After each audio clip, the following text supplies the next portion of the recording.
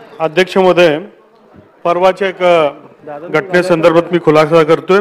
अध्यक्ष महोदय तेवीस तारखेला माझे चिरंजीव जयादित सिंग हे सभागृहामध्ये आले होते. त्यांच्याकडे मी अध्यक्ष गॅलरीचा पास आपल्याकडनं मी मिळवला होता. आणि तेरा वर्षाचा मुलगा असल्यामुळे मी अध्यक्ष गॅलरीमध्ये त्यांना तिथे पोहोचवलं आणि त्यांना वरून मी सर्व दाखवत होतो. त्याच दरम्यान आपले विरोधी पक्ष नेते अत्यंत बारीक नजर ठेवणारे ते सभागृहात आले आणि माझ्याकडे बघितलं म्हटलं आले ते. आता त्यांचा मुद्दा ते उपस्थित करतील की जयकुमार रावल तिथे का बसलेत? आणि मला माहिती आहे की पुन्हा सभागृहामध्ये एम्बॅरेसिंग सिच्युएशन होईल. म्हणून मी तिथून निघालो आणि खाली आलो. ठीक तर त्याची मीडियामध्ये वेगळ्या पद्धतीने नोंद झाली.